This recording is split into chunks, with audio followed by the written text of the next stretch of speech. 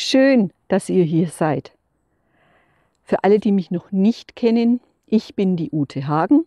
Ich bin psychologische Beraterin, Kräuterfachfrau und, so jetzt kommt's, medizinisch-therapeutische Wald- und Naturgesundheitstrainerin. Mein Studio für Krisencoaching ist in Naila. Wir haben uns heute hier getroffen zum Waldbaden in diesem wunderschönen Stück Gerlasser Forst. Waldbaden, was ist das? Was kann man sich darunter vorstellen? Waldbaden ist das deutsche Wort für ein, ja, eine Art Naturtherapie, die in Japan entwickelt wurde, mit Namen Shinrin Yoku. Und Shinrin Yoku meint das Eintauchen in die Atmosphäre des Waldes mit all den Eigenschaften, die Mutter Natur uns dort zur Verfügung stellt. Vieles davon ist gut durch Studien erforscht, unter anderem die Wirkung auf unsere Psyche, die Wirkung auf unsere Herzgesundheit, die Wirkung auf unser Immunsystem. Da sind sie noch weiter am Forschen, denn das tut unserem Immunsystem sehr, sehr gut. Ja, und es senkt außerdem den Spiegel an Stresshormonen. Mit allen Auswirkungen, die wir da dann zur Verfügung haben. Wir schlafen hinterher besser, unserer Psyche geht es besser. Und das alles stellt uns Mutter Natur kostenfrei zur Verfügung.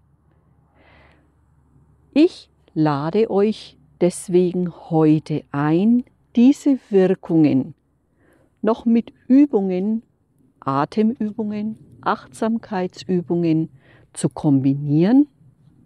Ich lade euch ein, weil wenn jemand merkt, Mensch, die Übung tut mir jetzt gerade aber gar nicht gut, es muss keiner bei jeder Übung mitmachen. Es ist eine Einladung. Wer gerade nicht kann oder sagt, das tut mir nicht gut, einfach an den Baum anlehnen, der Übung zusehen, wie die anderen das machen und bei der nächsten Übung, wenn es gut tut, wieder mit einsteigen. Ganz wichtig, bevor wir gleich loslegen, ja, im Wald gibt es ein paar Regeln, auch beim Waldbaden.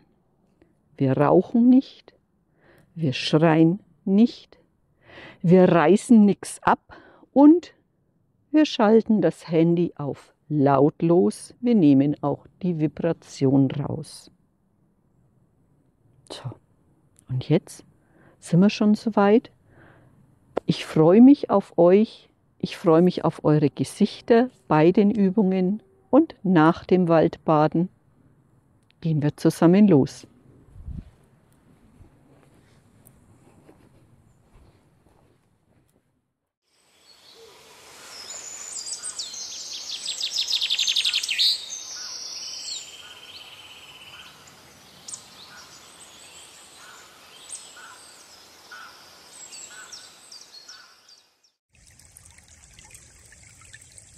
Lausche dem Plätschern und lass das Wasser alles mitnehmen, was nicht passt.